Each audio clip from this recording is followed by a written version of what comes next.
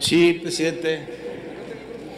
Eh, quiero expresar en nombre del grupo parlamentario del Partido de la Revolución Democrática eh, que deseamos todo el éxito a un gran representante del pueblo de Baja California, como lo fue su padre y ahora Carlos, que seguramente logrará sus metas porque es un hombre honrado, un hombre justo, es un hombre cabal.